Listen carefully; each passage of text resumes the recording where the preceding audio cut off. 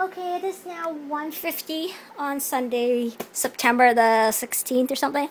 As you can see, it's working. Um, and it's very silent. I really like it. Um, here's the food bowl. I put this here in an attempt. Uh, we'll see if this works because it's just millimeters away from being able to fit in there. Um, so I might have to get a container that fits in this exact area. But um, I'm hoping they don't get bedding in there. Uh, if it really does, then I will switch to fleece. But I really don't want to because fleece is just going to be a real pain in the neck. Uh, when you consider, um, when you just consider the fact that with fleece, um, you have to do towels as well. Um, so anyway, um, I'm pretty sure, certain that everybody is very, very thirsty.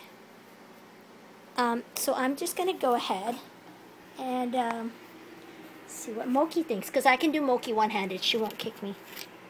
As you can see, see she's very well behaved. Um, let's see what she thinks of the water. She must be really thirsty. No? Don't want to drink any water, baby girl? Okay, well, let's try cafe latte. Are you going to be a good boy? Or are you going to kick me? And it has nothing to do with the way I, I hold him. He kicks regardless. Um,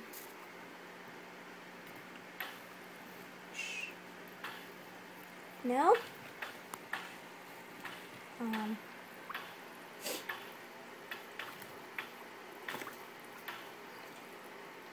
so as you can see, the hay rack's working. Um, as you note that I have a black clip right there, that's to keep it from like just moving too much. And I basically like dusting off the hay pieces onto the tray. Uh, it just keeps it from moving as much. Um, it's really beautiful actually. And there's a couple more clips, I don't know if you can see it underneath. That's just to keep it slightly out. Um, but um, Mocha here decides she wants to hide. Shh. Shh. Moki. Moki, come here. Shh. Come here. Check out the hay. Check out the hay.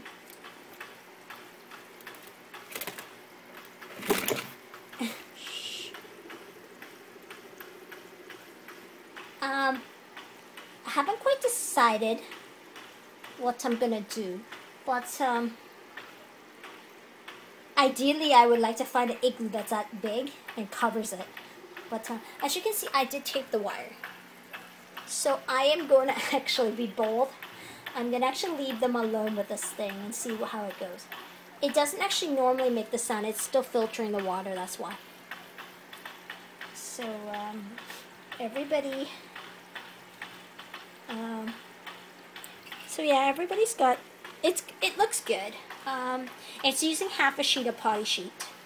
And um, yeah, I, it does leak a lot of hay, but then again, compared to the bowl idea that I had in a bowl previous to this, I mean, this is still better. And they'll still eat that stuff. And it was the same as putting in a corner potty anyway. Um, the only difference is they can both fit in there now together, so they can graze together. I have no idea why I put the box here, but um, ideally, I really should put it right here, like right here. But um, the last thing I want is them to tip the box in there or something. But uh, and he really likes this box, so he runs in there really fast, which is one reason why. Um, but anyway, that's it. I'm gonna see how this goes. Uh, yeah, and I'll probably put this right here. Um, the reason for that is just so he, if he pees, it doesn't, well, no, I think I'll just leave it. Maybe pees, pees, oh well, I think I'll live. So I'm trying to minimize the bedding that's over here by pushing the bedding over here. Um, I'm hoping they don't pee as much over there. But, um, yeah, okay. I'm going to go out now and get the other one uh, while they still have them hopefully. Because I'm actually going to go to the Richmond location, not the one at um, Grandview, because uh, that one's a little far. Um, so yeah, here's hoping it works. I will know when I come home if this is worth keeping.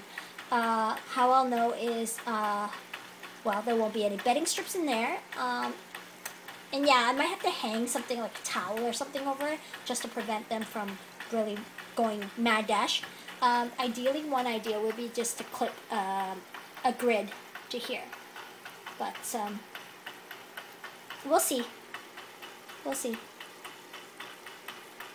I'm not sure why it makes all these sounds. It could just be because it's not heighted properly. Okay, I'll see you guys later.